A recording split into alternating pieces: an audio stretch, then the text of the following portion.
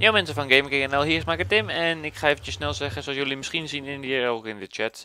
We gaan stemmen voor wat we vanavond gaan streamen en we zijn vanavond live ongeveer vanaf 8 uur.